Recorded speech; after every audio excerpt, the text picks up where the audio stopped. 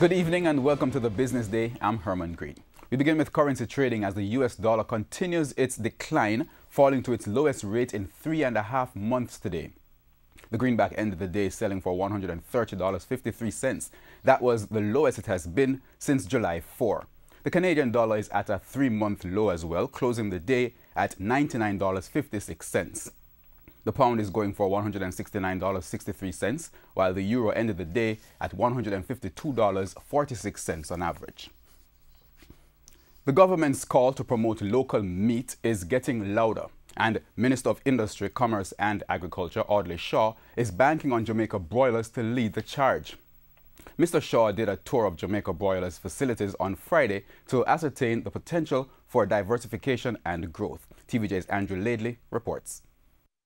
Jamaicans are one of the highest per capita consumers of chicken, a staple in the local diet, which is why Agriculture Minister Audley Shaw is looking to local companies to fully satisfy local demand. There is value added which can, which can be multiplied in our own experience to help us cut down on imports.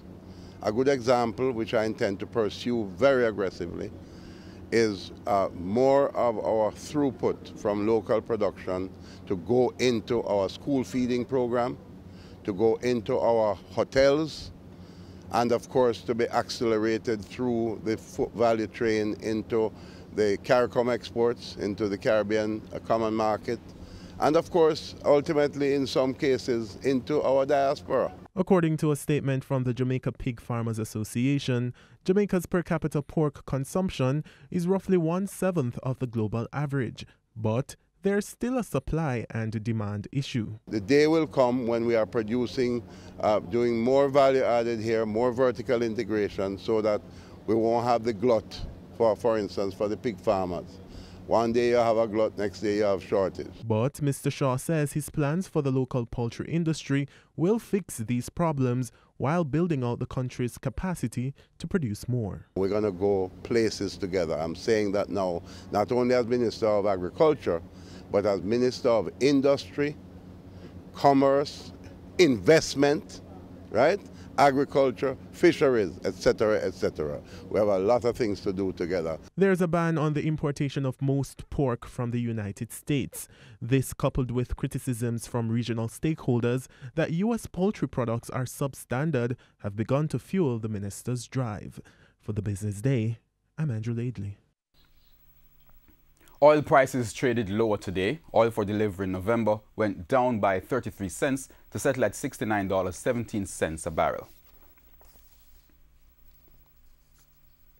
The Inter-American Development Bank, IDB, is making more than 50 million US dollars available annually for investment in a number of pro projects. This is being facilitated through its investment arm, IDB Invest. IDB Invest General Manager James Scriven says the funds will be made available over a couple of years.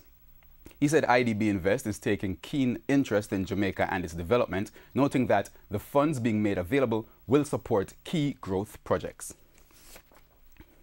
The JSE index gained 1,296 points today, while the junior market index was up 78 points. Stocks posting gains included 1834 Investments, Berger Paints, Carreras, Derrimon Trading, Express Catering, Honeybun, Indies Pharma, Jetcon Corporation, and Kingston Properties. On the losing side were Barita Investments, CAC 2000, Dolphin Cove, Elite Diagnostic, Grace Kennedy, Jamaica Broilers, KLE Group, Lasco Distributors, Mayberry Jamaican Equities, and Panjam Investment. And that's the business day. I'm Herman Green. Good evening.